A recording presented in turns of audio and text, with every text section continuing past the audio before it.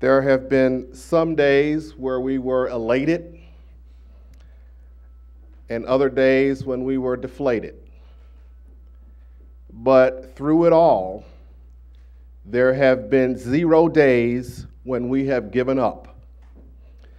There are many days before us for the streetcar system mundane days and exciting days. This is a beginning because it must be developed into a system that works in tandem with a full transportation network for the entire region.